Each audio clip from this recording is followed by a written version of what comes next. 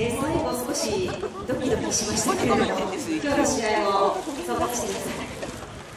うんまあ、あのここ何戦かちょっと打線が、えー、いまいちだったんで、えー、今日も強くつないでくれて、上手に出てましたし、えー、打つ方に関しては、えー、満点だと思います。まあ、寺田もよくやってもらったし、でまあ、最後、展開が展開で失点をその、えー、しっかりしっかりしていくというつもりで、えーチームは3連敗中だったわけなんですけれども、今日の試合の前には、選手たちにはどんな言葉を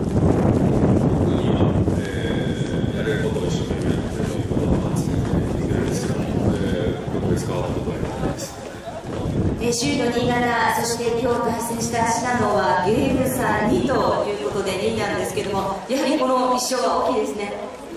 まあ、全ての一つの勝ち、一つの負けというのが大きく全球を左右してくるので、え